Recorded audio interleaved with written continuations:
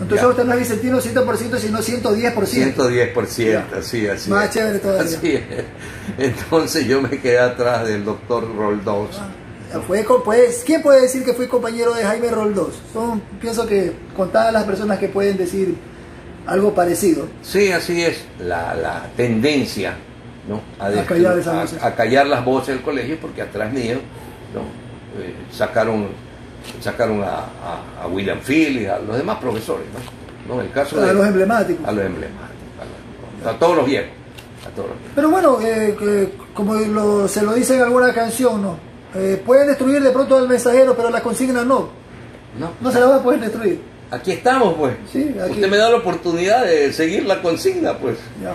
Es más, se inventó el, el- El internet. el internet y el Facebook y, para mí ha sido maravilloso seguirme comunicando con mis alumnos y con todo el público y decir lo que siento. Hay que seguir trabajando. El profesor acaba de decir algo muy importante, que el futuro del Ecuador probablemente sea incierto. Pero para nosotros los vicentinos no hay lucha imposible. Así es. ¿no? Y como él está arengando, tenemos que luchar hasta el fin por el bien de este país. Y el Vicente Rocafuerte tiene que ir a la cabeza. Así es, señor. Como siempre. Un abrazo, profesor. Disculpe la muchas gracias. la.